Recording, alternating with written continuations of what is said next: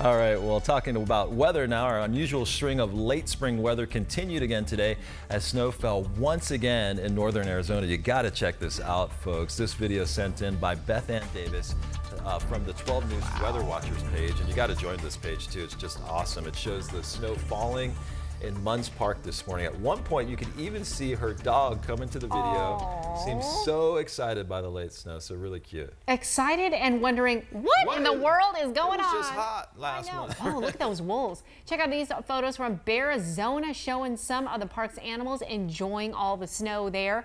But for one woman in Flagstaff, today's snow was the best birthday gift that she could ask for.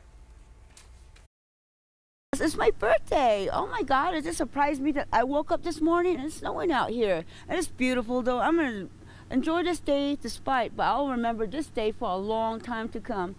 And it's so beautiful out here. And what I'm gonna do is, I don't know what my plans are today, but it seems pretty interesting, surprising us with the snow here on my birthday. I said usually it's always snow, it's always sunny, and I love to go out. You know, it's very different today.